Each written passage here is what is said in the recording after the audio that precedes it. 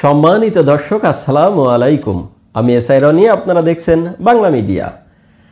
ইসরায়েলের পক্ষ থেকে গাজায় যে স্থল হামলা চালানোর পরিকল্পনা করা হচ্ছে আজ কয়েকদিন যাবৎ, এই হামলা কিন্তু এখনও তারা পুরোপুরিভাবে চালান নাই। ধারণা করা হচ্ছে যে এই হামলা হয়তো পরিশেষে তারা চালাবেও, চালাবে না। এর বিশেষ কারণ আছে। এর বিশেষ কারণ কি? কারণ হলো তারা ভয় পাচ্ছে, বুঝছেন? এই স্থলপথে হামলা চালাইতে গেলে যে কি কি বিপদ, সেই বিপদ সম্পর্কে তারা অবগত হয়েছে বর্তমানে। প্রথম অবগত করেছে যুক্তরাষ্ট্রের প্রেসিডেন্ট জো বাইডেন। দ্বিতীয় অবগত করেছে আপনার এই ভূমি নিয়ে যারা রিসার্চ করে, যে সমস্ত বিজ্ঞানী আছে বা দার্শনিক আছে বা বুদ্ধিজীবী আছে বা এই সুড়ঙ্গ নিয়ে বা গেরিলা হামলা সম্পর্কে বা মুসলিমদের এই অতর্কিত হামলা সম্পর্কে বা পিছন দিক থেকে ঠুস করে গুলি করার সম্পর্কে যে সমস্ত বিজ্ঞানী আছে সারা পৃথিবীতে, যারা ভূগর্ভ নিয়ে রিসার্চ করে, তারাও মোটামুটি অনেকভাবে আপনার ইসরায়েলকে সতর্ক করেছে যে, তুমি যদি স্থল পথে হামলা চালাইতে যাও গাজার ভিতরে গাজার ভিতরে যে বৈরিত্য আবহাওয়া এবং তাদের যে মাটি এবং তাদের যে আস্তানা, সব মিলিয়ে সেখানে তাদের থেকে তোমার ক্ষতিটা বেশি হবে। এমন ক্ষতি তোমার হবে যে ইতিমধ্যে এমন ক্ষতি তোমার জীবনেও আর হয়নি। এখন আসি মূল আলোচনায়। অন্য বার ফিলিস্তিনি ইসরায়েল যে সংঘাতটা শুরু হয়, সেই সংঘাতের সাথে বর্তমান সংঘাতের আকাশ এবং পাতালের একটা ফারাক রয়েছে। কীভাবে? অন্যবার তারা যখন হামলা চালায়, তখন হামাস বাহিনীরা আধুনিক অস্ত্রের দিক থেকে এতটা শক্তিশালী না। জনবলেও তারা শক্তিশালী ছিল না, আর এখন গাজার ভিতরে শুধু যে হামাস যোদ্ধারাই সেই গাজাতে আসলে এই গাজাকে বা আপনার এই যে ফিলিস্তিনিদের ভূমি রক্ষা করার জন্যে তারা আপ্রাণ চেষ্টা করে যাচ্ছে তা কিন্তু না। গাজার ভিতরে এরকম সশস্ত্র সংগঠন আরও গড়ে উঠেছে আপনার ভরি ভরি। তারাও চতুর্দিকে ছড়িয়ে ছিটিয়ে রয়েছে। যে কোনো মুহূর্তে ধৈর্যের বাদ ভেঙে গেলে তারাও শুরু করবে আক্রমণ এবং তারাও অত্যন্ত আধুনিক অস্ত্র সজ্জিত করে রেখেছে বর্তমানে। এ তো গেল গাজার ভিতরে হামলা চালানোর আলোচনা।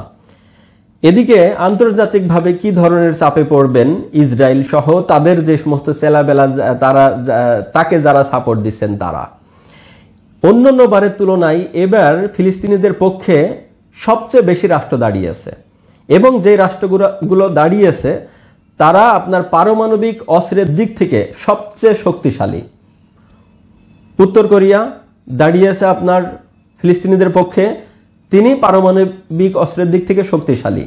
দাঁড়িয়েছে রাশিয়া, তিনিও একই রকম। দাঁড়িয়েছে চীন, তিনিও একই রকম। দাঁড়িয়েছে ভারত, তিনিও ভালো শক্তি সম্পূর্ণ এবং গ্রহণযোগ্য একটি রাষ্ট্র সারা পৃথিবীর মধ্যে। ফিলিস্তিনিদের পাশে দাঁড়িয়েছে আপনার আরব আমিরাত। ফিলিস্তিনিদের পাশে দাঁড়িয়েছে সৌদি আরব। ফিলিস্তিনিদের পাশে দাঁড়িয়েছে তুরস্ক। বুঝতে পারছেন ঘটনাটা কোন পর্যায়ে গেছে? এদিক তো মনে করেন যে একের পর এক মারা খাবেই, স্থলে হামলা চালাইতে গেলে। আন্তর্জাতিকভাবেও এমন একটা সময় সামনে আসতেছে ইসরায়েলের যে আন্তর্জাতিকভাবে এক ঘরেতে পরিণত হয়ে যাবে। আজকে তার পিছন থেকে যারা সাপোর্ট দিচ্ছেন, তারা তো আপনার কূটনীতিক কারণে সাপোর্ট দিচ্ছেন। যেমন আপনার যুক্তরাষ্ট্র সাপোর্ট দিচ্ছেন কেন? কারণ যুক্তরাষ্ট্রে যে অস্ত্রে তৈরি হয়, সেই অস্ত্র যখন তারা বহির কান্ট্রিগুলোতে ইন আউটপুট করে, বিক্রি করে, সেখান থেকে আশি পার্সেন্ট অস্ত্রই কেনে যুক্তরাষ্ট্রের, আশি পার্সেন্ট অস্ত্র কেনে আপনার ইসরায়েল। সেই হিসাবে তারা সাপোর্ট দিয়ে যাচ্ছে। তো এমন একটা দিন আসবে যে এই যে পিছন দিক থেকে তাদেরকে আপনার ইসরায়েলকে সাপোর্ট দেওয়া হচ্ছে, এই সাপোর্ট কিন্তু বন্ধ হয়ে যাবে। কারণ এই যে রাষ্ট্রগুলো ফিলিস্তিনিদের পক্ষে এসে দাঁড়িয়েছে, এই রাষ্ট্রগুলোর সাথে কোনো না কোনোভাবে আজকের ইসরায়েলকে যারা সাপোর্ট দিচ্ছেন, তাদের যোগসূত্র রয়েছে, কূটনীতিক সম্পর্ক আছে ব্যবসা বাণিজ্য সম্পর্ক আছে।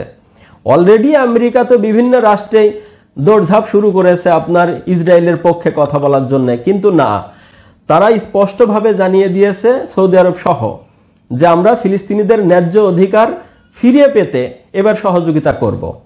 কেন তাদের ভূমি অবৈধভাবে দখল করবে ইসরায়েল? তো বুঝতে পারছেন, অন্যান্য বারের তুলনায় এবার ফিলিস্তিনিদের কোন কোন শক্তিতে তাদের শক্তিগুলো রূপান্তরিত হয়েছে? আর এই যে শক্তি রূপান্তরিত হবে, এটা মোটামুটি কিছুটা আজ করতে পেরেছিল আপনার হামাদ যোদ্ধারা। যার কারণে ঠিক সময় মতো হামাদ যোদ্ধারা হামলা চালিয়েছে ইসরায়েলের ভিতরে। এবং এই মুহূর্তেও ইসরায়েলের ভিতরে নেতানিয়াহু সরকারের তার গদি কিন্তু নড়বড় অবস্থা। যে কোনো মুহূর্তে যায়, আসে যায়, আসে এরকম অবস্থা। পদত্যাগের দাবি চলছে। বিরোধী দলগুলো মাথা চাড়া দিয়ে উঠেছে। তার পদত্যাগ চাচ্ছে সেই দেশের জনগণ। সব মিলিয়ে বলা যায় যে এবার বাটে পড়েছে ইসরায়েল আর ফিলিস্তিনিরা সবচেয়ে ভালো অবস্থানে আছে বর্তমানে। পরিশেষে এই সমস্ত সব কিছুর ক্রেডিট একজনকে দিতে হয়, সেটা হলো মহান আল্লাহ পাক, যিনি পরিচালনা করছেন আসমান, জমিন এবং সবকিছু। তিনি যা পারেন আর কেউ পারেন না। তিনি যা করেন তা কেউ করেন না।